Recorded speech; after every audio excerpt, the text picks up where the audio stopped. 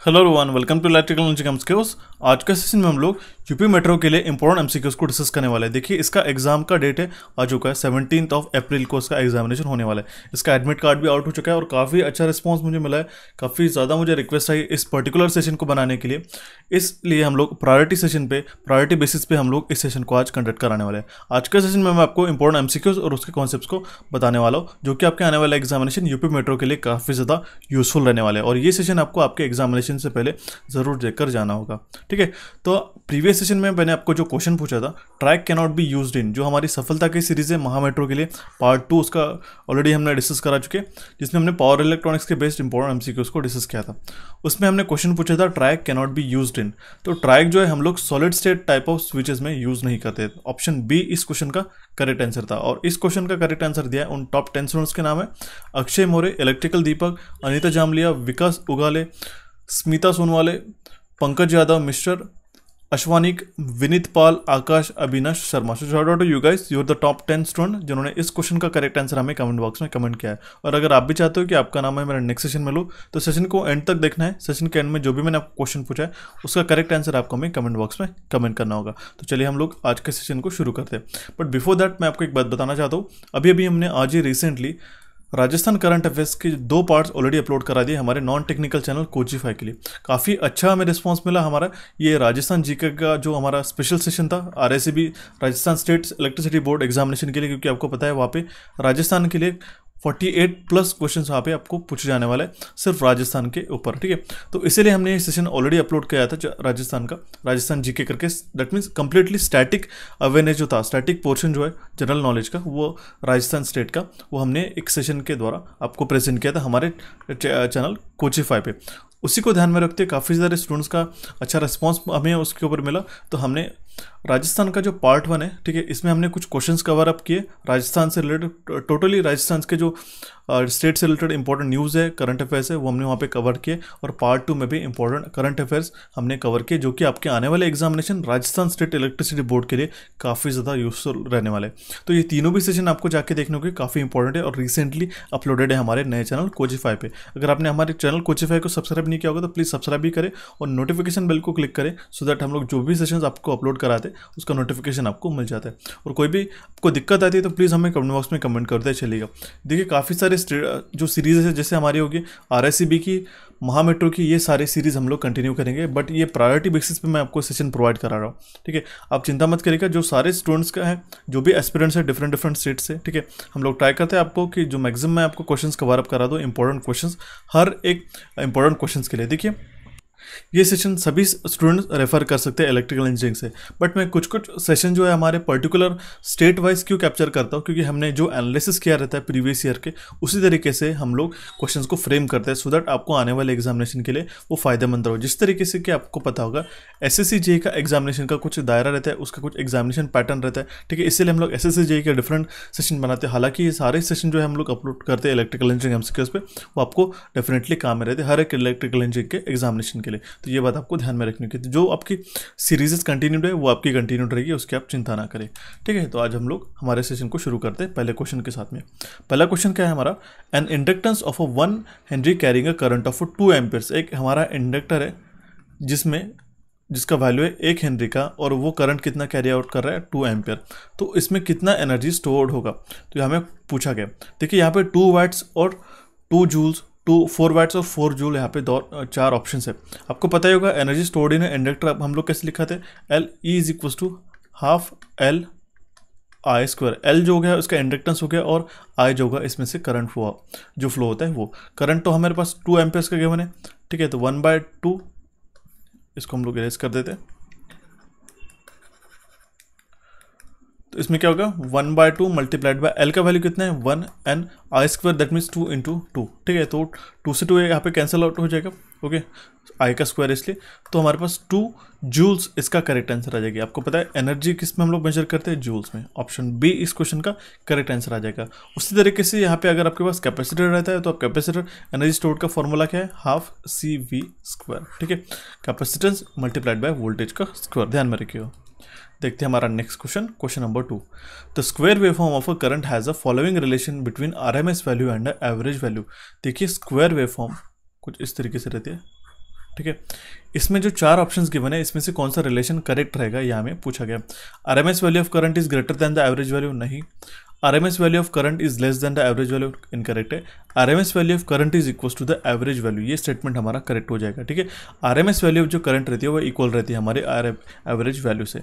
Option C इस question का correct answer आ जाएगा। देखिए यहाँ पे स्क्वायर वेव का कुछ इंपॉर्टेंट फैक्ट्स एंड फिगर्स मैं आपको बताता हूँ जैसे उसका RMS वैल्यू का फैक्टर कितना है, कितना रहता है? वन पीक फैक्टर रहता है वन फॉर्म फैक्टर रहता है वन साइन वेव के लिए RMS वैल्यू रहता है point seven zero seven peak factor के लिए रहता है one point four one four जिसको हम लोग रूट टू भी मेंशन करते हैं फॉर्म फैक्टर रहता है, इसका वन पॉइंट वन आप मेनली जो चीज़ें मैं आपको बताता हूँ, वो ध्यान में रखेगा जो बेसिक से क्वेश्चन है, देखिए यहाँ पे फॉर्म फैक्टर काफ़ी बार एग्जामिनेशन में पूछा था ये आप पहले तो साइन वेव के लिए ध्यान में रखिएगा ट्रायंगुलर के लिए स्क्वायर वेव के लिए स्क्वायर वेव के लिए काफ़ी बार पूछा जाता है, और सॉर्टूथ वेव के लिए भी ये फॉर्म फैक्टर आप ध्यान में रखिएगा। और इसी के साथ में आपका सॉर्टूथ वेव का जो पीक फैक्टर है, ये आपको ध्यान में रखना होगा। हालाँकि कंप्लीट चार्ट ही इंपॉर्टेंट है, इसको आप एक बार लर्न करके चाहिए अगर आपको इसमें से कोई भी इसमें पॉइंट जो है आपके दिक्कत जाते हैं। तो ठीक है, ये सारी चीज़ें आपको बेसिक्स है, ये लर्न होनी चाहिए।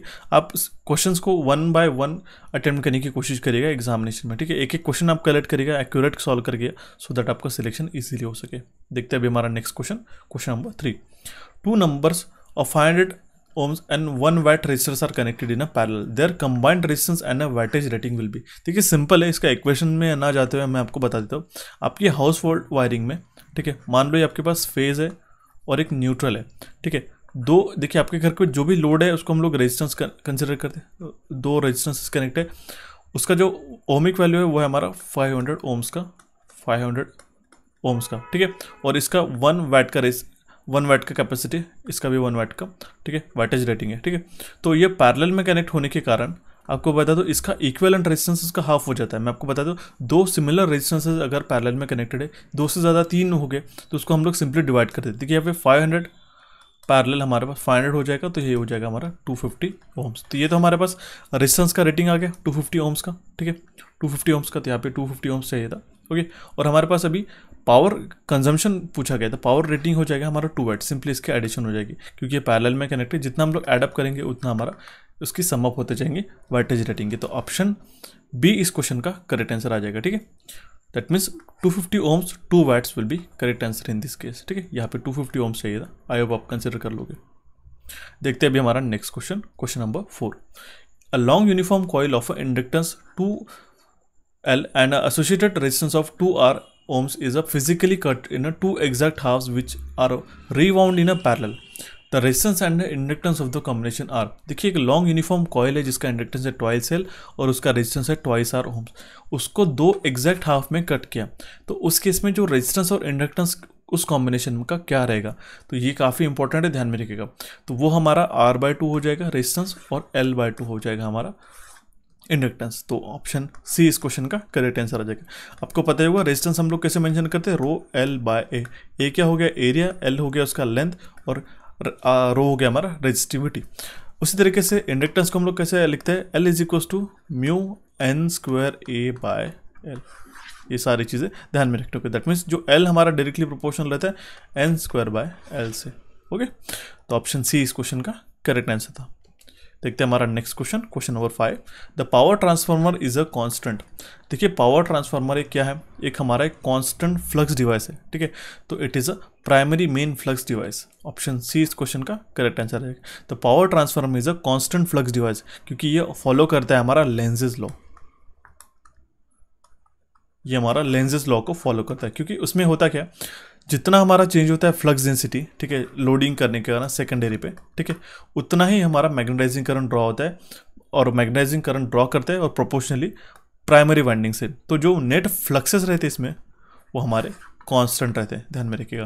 That means the power transformer is a constant primary main flux device option C इस क्वेश्चन का करेक्ट आंसर आ जाएगा। The next question is question number 6. For a slip ring induction motor, if the supply voltage is changes by 5%, it will produce approximately change of dash percent in a rotor torque. Important question है ध्यान से देखिएगा ठीक है एक slip ring induction motor है अगर हमारा सप्लाई वोल्टेज चेंज होता है फाइव परसेंट से इंक्रीज हो जाता है मान लो तो वो उसका जो it will produce change of dash in rotor torque तो रोटर टॉक में क्या डिफरेंस आएगा? ये हमें पूछा गया तो आपको पता ही होगा इंडक्शन मोटर में जो टॉर्क रहता है, ठीक है, वो किससे प्रोपोर्शनल होता है? डायरेक्टली प्रोपोर्शनल होता है स्क्वायर ऑफ़ वोल्टेज ठीक है? That means torque is directly proportional to the square of voltage ये हमारा इंडक्शन मशीन में रहता है। तो हमारा सप्लाई वोल्टेज जो होता है चेंज इन फाइव परसेंट तो इसको हम लोग डिवाइड करते हैं हंड्रेड से zero point zero five percent आ जाएगा, ठीक है? ज़ीरो पॉइंट ज़ीरो फाइव ठीक है? तो जो टॉर्क हो जाएगा डायरेक्टली प्रोपोर्शनल होगा वी मान लो सप्लाई वोल्टेज है प्लस हमारा ज़ीरो पॉइंट ज़ीरो फाइव हमारा चेंज हुआ, इसका स्क्वायर तो आप इसको एडअप करिएगा one plus zero point zero five जो वी हम लोग कंसिडर करेंगे, ठीक है? Zero point zero five V हम लोग इसको कंसिडर कर सकते हैं, ओके? तो ये होगा हमारा ट्वेंटी वन बाय यहीं पे हम लोग लिख लेते हैं। ये हो जाएगा हमारा twenty one V by twenty ठीक है? इसका होल स्क्वायर इसको हम लोग रिजॉल्व करेंगे ट्वेंटी वन का square four forty one V इसको आप सिंपली भी सॉल्व कर सकते हैं मैं आपको शॉर्टकट मेथड भी बता देता हूँ। अपॉन फोर हंड्रेड ठीक है? तो ये जो हो गया हमारा नेक्स्ट ये हो गया जो हमारा टॉर्क अपडेटेड है ठीक है? टॉर्क न्यू हम लोग इसको हैं। हमारा फ़र्स्ट टॉर्क क्या था? टी था ठीक है? जो हम लोग उसको आ, और वो भी कैसे डायरेक्टली प्रोपोर्शनल था? वी स्क्वायर से। तो हमारा जो चेंज हुआ रोटर टॉर्क का तो वो चेंज हम लोग किस तरीके से निकालेंगे? Four forty one four forty one था। V square upon four hundred minus V square upon V square multiplied by hundred तो इसका आ, आपका आता है टेन परसेंट सोल्यूशन ठीक है? टेन परसेंट सोल्यूशन है। देखिए मतलब क्या हुआ कि जो पॉइंट फाइव परसेंट से अगर हमारा सप्लाई वोल्टेज जो चेंज होता है तो इसका स्क्वायर से रिलेटेड करें डायरेक्टली तो ये हमारा टेन परसेंट से चेंज हो रहा है ठीक है? ये बात ध्यान में रखिए। जो हमारा रोटर टॉर्क चेंज होगा वो टेन परसेंट से चेंज होगा। आई होप आपको ये क्वेश्चन समझ में आया होगा ठीक है? देखते हैं अभी हमारा next question question number seven the maximum temperature permitted for a class A insulation is काफ़ी बार मैंने एग्जामिनेशन हमारे सेशंस में आपको ये चीज़ें बताइए कि जो मैक्सिमम टेम्परेचर रहता है हमारा क्लास ए इंसुलेशन के लिए, वो कितना रहता है? तो वो रहता है हमारा 105 डिग्री सेंटीग्रेड। ऑप्शन बी इस क्वेश्चन का करेक्ट आंसर है। ये आपको अगर लर्न करने होंगे, ठीक है? ये आपको समझने होंगे। तो हमारे इंस्टाग्राम पेज पे मैंने ऑलरेडी इंसुलेशन क्लास करके एक पोस्ट डाल के रखी है। सिक्वेंस ध्यान में रखिएगा, सबसे लोएस्ट इंसुलेशन का टेम्परेचर रहता है वाई का और सबसे हाइस्ट रहता है सी का।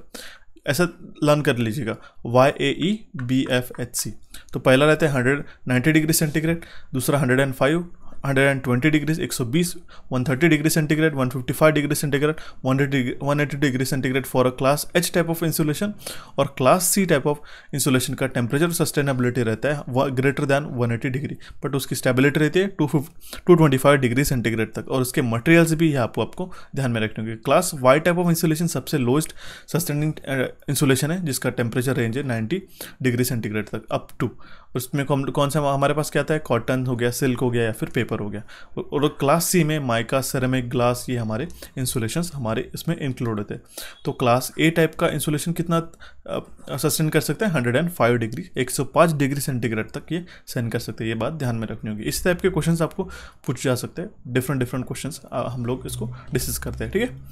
नेक्स्ट क्वेश्चन हमारा question number eight two transformer connected in a parallel share the load in the ratio of their K V ratings provided their ohmic impedances are देखिए, यहाँ पे दो ट्रांसफार्मर हमारे कनेक्ट कर दिया पैरेलल में। तो वो शेयर करेंगे इक्वल लोड ठीक है?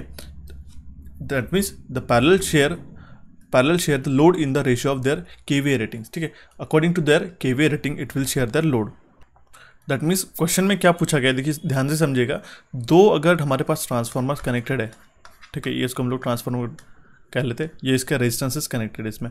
तो वो शेयर करेंगे load according to the K rating ठीक है? प्रोवाइडेड देयर इम्पिडेंसेज आर तो इसमें उसका जो इम्पोर्टेंस होना चाहिए तो वो होना चाहिए inverse ratio of the rating इसके जो रेशियो रहना चाहिए, वो इसका रेशियो रहना चाहिए inverse ratio inverse ratio of their rating option C इस क्वेश्चन का करेक्ट आंसर आ जाएगा, ठीक है? That means the two transformer connected in parallel share load in the inverse ratio of their K V A ratings inverse ratio of their K V A rating ये आपको ध्यान में रखना होगा। That means it is a inverse ratio of their ratings their ohmic impedances यहाँ पे लिखा गया ठीक है, देखते हैं अभी हमारा next question question number nine non loading heat run test on a transformer is perform by means of non loading heat run test जो हम लोग ट्रांसफॉर्मर पे परफॉर्म करते हैं तो वो हमारी रहती है संपनस टेस्ट ऑप्शन डी इस क्वेश्चन का करेक्ट आंसर आ जाएगा। ठीक है, ये हमारी non loading heat run test on a transformer किसके लिए रहती है? ट्रांसफॉर्मर और इसको हम लोग क्या कहते हैं? Back to back test back to back test भी हम लोग इसको कहते हैं रीजनरेटिव टेस्ट हम लोग इसको कहते हैं। और इस केस में कितने ट्रांसफार्मर की रिक्वायरमेंट रहती है? इसमें हमारे पास दो ट्रांसफार्मर की रिक्वायरमेंट रहती है इस क्वेश्चन में, ठीक है? काफ़ी इंपॉर्टेंट है। और ये क्या हम लोग, जब हम लोग परफॉर्म करते हैं बैक टू बैक टेस्ट तो उस केस में क्या रहते हैं? The amount of power consumed is equal to the iron and copper losses of the two transformer at a full load ये बात ध्यान में रखने की ऑप्शन डी इस क्वेश्चन का करेक्ट आंसर आ जाएगा। The next question is question number 10. Assuming constant transmission efficiency, if the voltage is increased n times, अगर हमारे पास constant transmission efficiency है और voltage हम लोग increase करते हैं n times तो size of conductor कितना लगेगा हमें उस केस में ध्यान में रखेगा वो हो जाएगा हमारा reduce by 1 by n square of the original option A इस क्वेश्चन का करेक्ट आंसर आ जाएगा, ठीक है? ऑप्शन ए इस क्वेश्चन का करेक्ट आंसर आ जाएगा। देखिए, अगर हम लोग वोल्टेज इंक्रीज करते हैं एन टाइम से तो जो साइज़ ऑफ़ कंडक्टर रिक्वायर्ड रहेगी तो वो हमारी रिड्यूस हो जाएगी वन बाय एन स्क्वायर से। ऑप्शन ए इस क्वेश्चन का करेक्ट आंसर आ जाएगा, काफ़ी इंपॉर्टेंट है।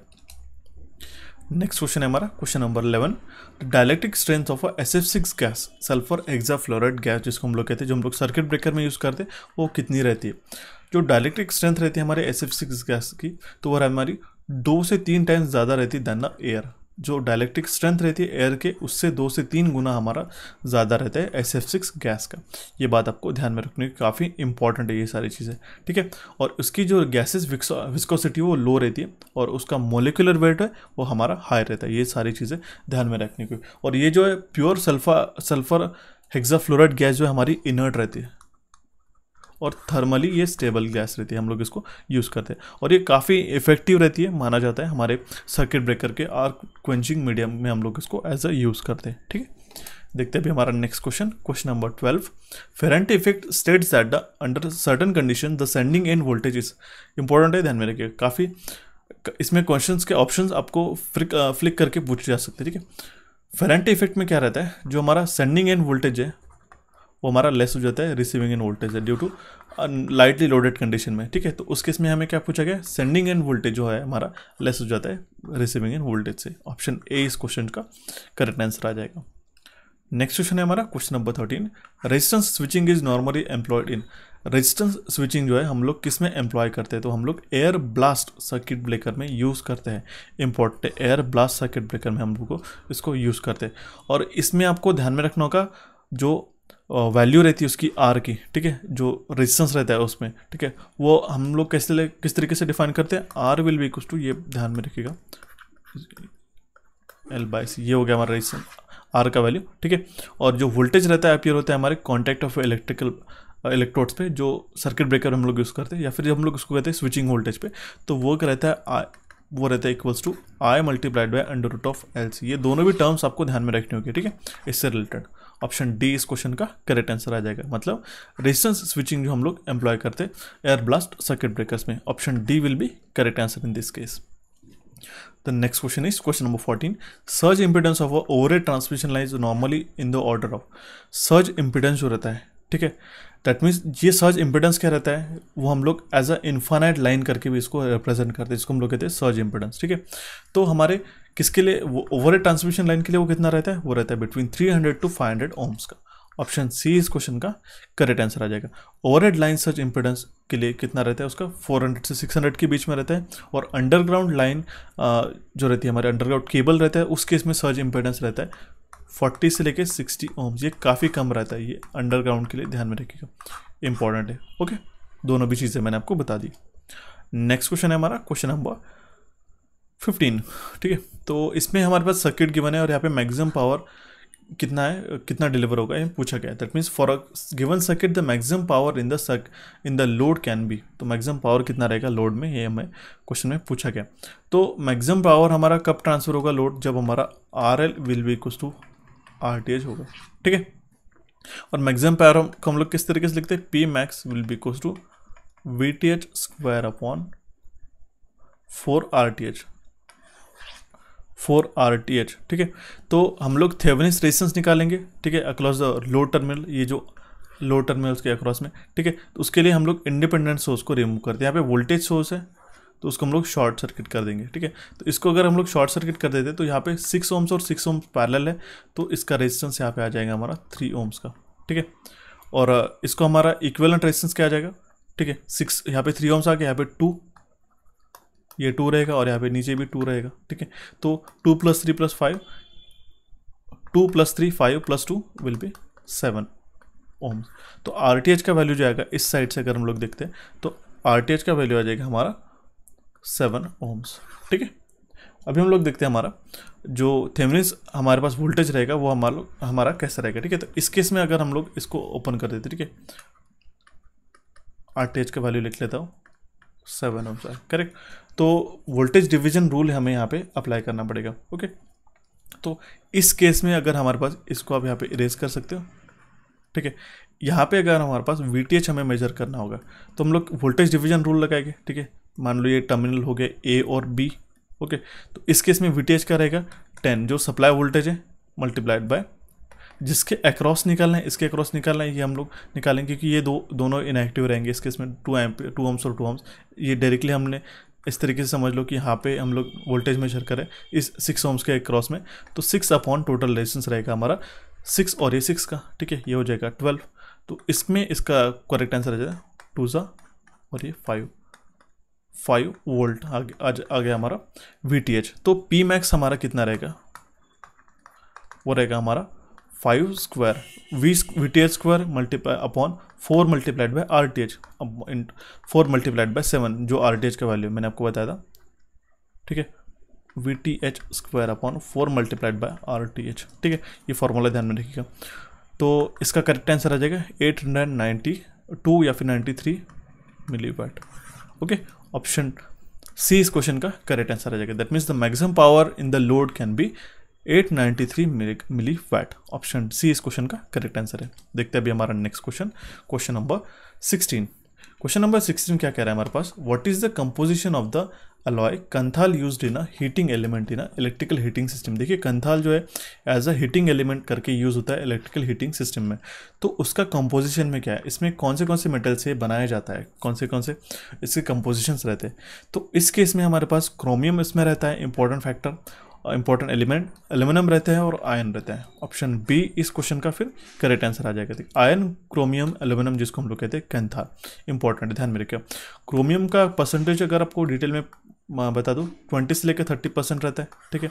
एल्यूमिनियम का भी इसमें रहता है फोर से लेकर सेवन पॉइंट फाइव परसेंटेज का।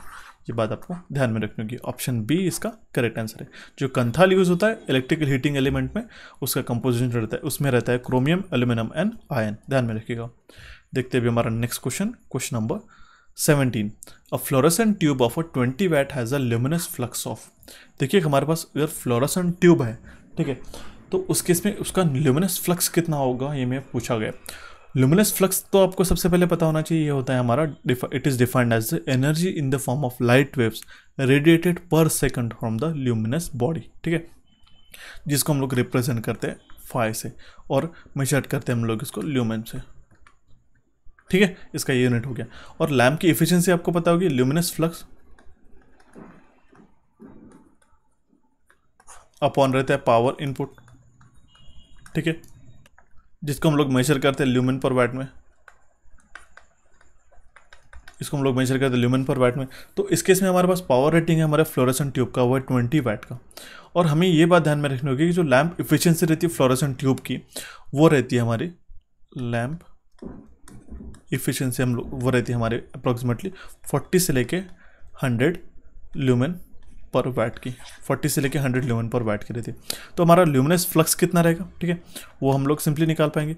Forty multiplied by forty multiplied by twenty से लेके हमारा हंड्रेड मल्टीप्लाइड बाय ट्वेंटी ठीक है? क्योंकि हमारे पास क्या पूछा गया ल्यूमिनस फ्लक्स पूछा गया ल्यूमिनस हमें पूछा गया ठीक है? तो हमारा वैट मल्टीप्लाइड बाय हमारे हाँ, हमें क्या करना पड़ेगा ठीक है? जो उसका मल्टी इसका जो वैटेज है वो हमें मल्टीप्लाई करना पड़ेगा देखिए। दैट मीन्स ये ल्यूमेन पर वाट जो एफिशिएंसी है इसकी, इससे हम लोगों को इसका पावर इनपुट जो है, वो मल्टीप्लाई करना पड़ेगा तब जाके हमारे पास ल्यूमिनस फ्लक्स मिलेगा, ठीक है? तो इसका जो ल्यूमिनस फ्लक्स रहता है फ्लोरोसन ट्यूब का, जो वाइट कलर का ट्यूब है, ठीक है? फोर्टी वाइट का ट्यूब रहता है, जैसे यहाँ पे चौक वगैरह रहता है, ठीक है? उसका फोर्टी से लेकर हंड्रेड ल्यूमेंस पर वाइट का एफिशिएंसी होता है तो इसलिए हमने फोर्टी मल्टीप्लाइड बाई ट्वेंटी किया, से लेके हमारा हंड्रेड मल्टीप्लाइड बाई ट्वेंटी तक का इसका जो ल्यूमेंस है, वो ल्यूमिनस फ्लक्स रहेगा। तो हमारे पास फोर्टी मल्टीप्लाइड बाई ट्वेंटी रहेगा हमारा। एट हंड्रेड से लेके हमारा हंड्रेड मल्टीप्लाइड बाई ट्वेंटी हो जाएगा हमारा ट्वेंटी टू थाउज़ेंड ठीक है?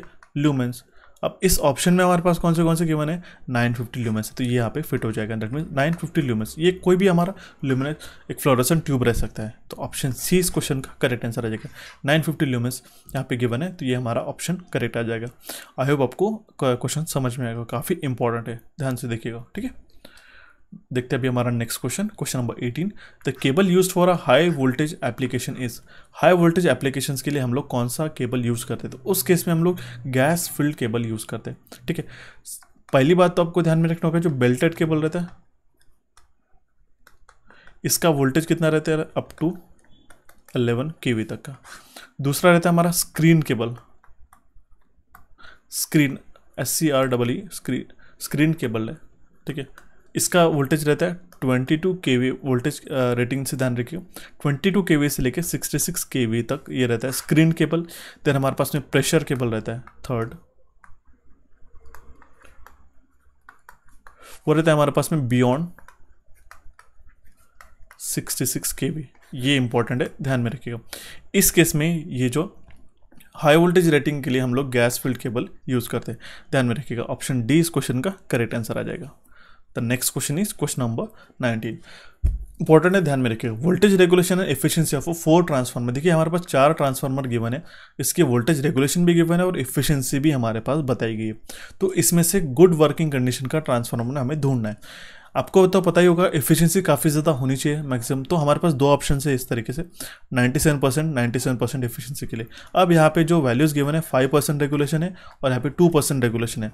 तो ये चीज़ आपको ध्यान में रखनी होगी कि रेगुलेशन हमें सबसे कम चाहिए और एफिशियंसी हमें सबसे ज़्यादा चाहिए। रेगुलेशन मतलब क्या होता है कि जो वोल्टेज फ्लक्चुएशन रहते हैं, ठीक है from no load to high load उसको हम लोग कहते हैं वोल्टेज रेगुलेशन जिसको हम लोग कुछ इस तरीके से रिप्रेजेंट करते हैं। V R equals to no load minus volt full load upon voltage at no load multiplied by hundred. ये हो गया हमारा वोल्टेज रेगुलेशन। जितना कम, उतना वो अच्छा रहता है, ठीक है? तो वोल्टेज रेगुलेशन सबसे कम इस और ट्रांसफार्मर डी का है और इसकी एफिशिएंसी भी ज़्यादा है। तो ऑप्शन सी इस क्वेश्चन का करेक्ट आंसर आ जाएगा। This transformer will have a good working condition ठीक है? Then the next question is question number twenty the material which is to be electroplated देखिए, जो इलेक्ट्रोप्लेटेड मतलब प्रोसेस क्या रहती है हम लोग कोटिंग चढ़ाते हैं एक सरफेस पे, जो कंपोनेंट रहती है, जब दूसरे मेटल की, ठीक है? सो दैट हम लोग उसको डेकोरेट कर सके या फिर हम लोग प्रोटेक्ट कर सके उस सरफेस को, जैसे कि करोजन वगैरह हो गया उसके ऊपर, ठीक है? तो जो हम लोग प्लेट करते हैं, वो डिप किया जाता है हमारे इलेक्ट्रोलाइट में, ठीक है? और उसको बनाया जाता है एज अ कैथोड तो ये ध्यान में रखिएगा। It is connected to the terminal of the cathode option C इस क्वेश्चन का करेक्ट आंसर आ जाएगा। इंपॉर्टेंट है, ध्यान में रखिएगा। जो हम लोग डिप करते हैं, जिसको हम लोगों को कोट करना रहता है तो उसको हम लोग एज अ कैथोड करके यूज़ करते हैं। ठीक है? ध्यान में रखिएगा। Next question is question number twenty one maximum speed variation in three phase synchronous motor zero simple है। ऑप्शन डी इस क्वेश्चन का करेक्ट आंसर आ जाएगा। देखिए सिंक्रोनस मोटर बनाई इसलिए जाती है कि वो सिंक्रोनस स्पीड पर रन हो सके। जो स्पीड वेरिएशन रहता है तो वो उसका ज़ीरो रहता है, ठीक है? स्लिप स्लिप उसका नहीं रहता है। तो सिंक्रोनस स्पीड पर रन होने के कारण जो मैक्सिमम स्पीड वेरिएशन रहेगा, वो उसका ज़ीरो रहेगा। ऑप्शन डी इस क्वेश्चन का करेक्ट आंसर आ जाएगा। Then the next question is an important question what is the S C R value of salient pole type of synchronous machine S C R that means short circuit ratio कितना है हमारा? Salient pole type of synchronous machine के लिए। तो वो आता है हमारा 9.5 से लेके 1.5 के बीच में, ठीक है? और सिंक्रोनस कंडेंसर का अगर है? सिंक्रोनस कंडेंसर का है तो हमारा पॉइंट फोर है, ठीक है? सेलेंट पोल सिंक्रोनस मशीन का आता है हमारा पॉइंट नाइन से लेके वन पॉइंट फाइव के बीच में, और सिंक्रोनस देखिए, यहाँ पे जो cylindrical rotor rotor synchronous machine के लिए रहता है, ये हो गया हमारा। सिलेंड्रिकल ठीक है, हम लोग सबसे पहले तो देख लेते हैं। Point two six point point six से लेके पॉइंट नाइन के बीच में और पॉइंट नाइन से लेके वन पॉइंट फाइव के बीच में। तो सिंक्रोनस कंडेंसर ये हो गया हमारा पॉइंट फोर सिंक्रोनस कंडेंसर ध्यान में रखेगा salient pole type of synchronous machine के रहते हैं पॉइंट नाइन से लेके वन पॉइंट फाइव के बीच में। और ये सिलेंड्रिकल सिलेंड्रिकल के लिए, सिलेंड्रिकल रोटर सिंक्रोनस मशीन के लिए रहता है हमारा पॉइंट सिक्स से लेके पॉइंट नाइन के बीच में। तीनों भी वैल्यूज़ ध्यान में रखेंगे हमें salient pole type of synchronous machine पूछा गया था, जिसका हमारा पॉइंट नाइन से लेकर वन पॉइंट फाइव के बीच में सिंक्रोनस कंडेंसर का पूछा है तो पॉइंट फोर आप ये मार करके आएगा। ठीक है? आई होप आपको क्वेश्चन समझ में आएगा देखते हैं हमारा next question question number twenty three super tension cable हम लोग कौन से वोल्टेज लेवल पे यूज़ करते हैं? तो सुपर टेंशन केबल हम लोग बिटवीन 22 केवी से लेकर 33 केवी के बीच में यूज़ करते हैं, ठीक है? Okay that means super tension cable जो हम लोग फ्रॉम 22 के से लेकर 33 के के बीच में यूज़ करते हैं। उसी तरीके से low tension high tension extra high tension हम लोग कौन से वोल्टेज रेंज में यूज़ करते हैं? एक्स्ट्रा सुपर वोल्टेज केबल्स हम लोग कौन से इसमें वोल्टेज रेंज के लिए यूज़ करते हैं, ये हमने इस चार्ट में आपको प्रेजेंट किया है। ये आपको अच्छी तरीके से ध्यान में रखना होगा क्योंकि काफ़ी बार ये एक एक क्वेश्चन ही आपको सिलेक्शन दिलाते हैं, ठीक है? इस तरीके से बेसिक्स क्वेश्चन आपको काफ़ी बार एग्जामिनेशन में पूछे जाते हैं, ठीक है? देखिए फोर्टी परसेंट जो क्वेश्चन हमने एग्जामिनेशन में आप देखते हो, ठीक है? अगर आप मान लो हंड्रेड हंड्रेड क्वेश्चन है तो आपको फोर्टी क्वेश्चन ये ईजी मिलते हैं। जो आपके ट्वेंटी से लेके थर्टी क्वेश्चन आपको मॉडरेट लेवल के मिलते हैं, ठीक है? ये तो आप लोग डुएबल रहते हैं ईजी इसी में आपको काफ़ी ज़्यादा चांसेस रहते हैं कि आप उसमें एक्यूरेटली सॉल्व करा सको, ठीक है? ये जो ट्वेंटी से लेके थर्टी क्वेश्चन रहते हैं थोड़े मॉडरेट लेवल के रहते हैं और कुछ टेन से लेके फिफ्टीन क्वेश्चन जो थोड़े डिफ़िकल्ट रहते हैं वो आपको सिलेक्टिवली सॉल्व करना रहता है, ठीक है? इस तरीके से आपका जो पेपर पैटर्न डिज़ाइन किया जाता है और उसी को ध्यान में रखते अगर आप पैनिक ना होते हुए क्वेश्चन को अटैम्प्ट करते तो आपका सिलेक्शन हंड्रेड हो जाता है, ठीक है? देखते हैं अभी हमारा next question question number twenty देखिए, ये क्वेश्चन काफ़ी बार एग्जामिनेशन में इस तरीके से पूछा गया था। Sheath is a binder for insulated conductors together in a multi core power cables is placed between देखो जो शीत रहती है हमारे, वो एक बाइंडर रहती है हमारे इंसुलेटेड कंडक्टर्स को बाइंड करने के लिए। तो वो किसके बीच में रहती है? तो वो रहती है हमारे बिटवीन इंसुलेशन एंड बेडिंग के बीच में। ठीक है? ऑप्शन डी इस क्वेश्चन का करेक्ट आंसर है। देखिए, ये जो शीत है, ठीक है, ये रहते हैं हमारे बिटवीन इंसुलेशन एंड बेडिंग के बीच में। अगर बेडिंग नहीं है ऑप्शन में तो आर्मरिंग भी यहाँ पे ऑप्शन आपका सिलेक्ट हो जाएगा। इसी को समझने के लिए आपको हमारा इलेक्ट्रिक केबल्स का एक इंपॉर्टेंट सेशन है। एक से दो क्वेश्चन आपको हमेशा एग्जामिनेशन में पूछ जाते हैं। यूपी मेट्रो के एग्जामिनेशन में भी ये पूछ जाएँगे। तो इस क्वेश्चन को इस सेशन को आपको जाके देखना होगा। पाँच से दस मिनट के अंदर ये सारे टर्मिनोलॉजी यहाँ पे क्लियर हो जाएगा। मैं बहुत डिटेल में ये सेशन आपको स्पेसिफिकली इलेक्ट्रिकल केबल्स के टॉपिक के ऊपर ही हमने समझाया इसको जाके देखिएगा, ठीक है? देखते हैं हमारा next question question number twenty five which of the following logic gate provides the output as a zero when both inputs are same इधर या फिर ज़ीरो या फिर वो नो ठीक है? तो इस केस में हम लोग, हमारा एक्स और गेट जो है, ये वैली ये इसकी जो ट्रूथ टेबल है, वो ट्रू होल्ड करता है, ठीक है? तो एक्स और गेट का जो सिंबल रहता है, कुछ इस तरीके से रहता है, ठीक है? ये हो गया इसका टर्मिनल ए एंड बी इसका हो गया आउटपुट वाई आउटपुट का इक्वेशन कैसा रहता है? ए एक्स और बी ये ध्यान में रखिएगा। आउटपुट एक्सप्रेशन भी काफ़ी बार पूछा जाता है। छोटी से छोटी चीज़ें आपको पूछे जाते हैं। दो इनपुट है मान लें हमारे पास। ए और B zero zero zero one one zero and one one तो हमारा जो आउटपुट आता है वाई तो वो हमारा किस तरह रहता है? ये आप ध्यान में रखिए ज़ीरो ज़ीरो के लिए हमारे पास आउटपुट ज़ीरो रहता है। ज़ीरो वन के लिए आउटपुट वन रहता है। वन ज़ीरो के लिए आउटपुट वन और वन वन के लिए भी आउटपुट ज़ीरो रहता है। तो इस इक्वेशन को कुछ इस तरीके से भी लिखा जाता है। A bar B plus A B bar ठीक है? ये बात ध्यान में रखने की और ये हो गया हमारा एक्सॉर गेट और इसको इम्प्लीमेंट करने के लिए काफ़ी बार पूछा जाता है कि कितने नैंड और नॉर लॉजिक गेट इम्प्लीमेंट किए जाएँगे रियलाइज़ किए जा, किए जाएँगे ठीक है? आपको पता है नैंड और नॉर लॉजिक हमारे यूनिवर्सल गेट है। तो हमारे पास में चार इसके नैंड